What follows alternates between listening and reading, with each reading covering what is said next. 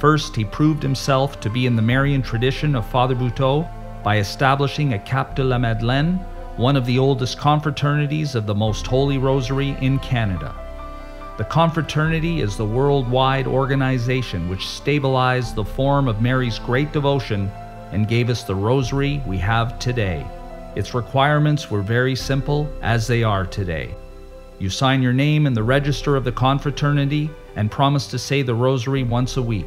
This simple union had joined kings and princes, popes and saints, with the common people of the world in one great chain of prayer to Mary. It had been blessed with many indulgences by a succession of popes, and its influence was great throughout the Christian world. From its beginning, this union of Marian prayer had been entrusted to Mary's great servants, the Dominicans. The Master General of that order is the only person who can authorize the erection of a new confraternity. Father Paul Vachon applied for this authorization and received it under the date of May 11, 1694, over the signature of the Very Reverend Antonin Cloche, the Master General of that time.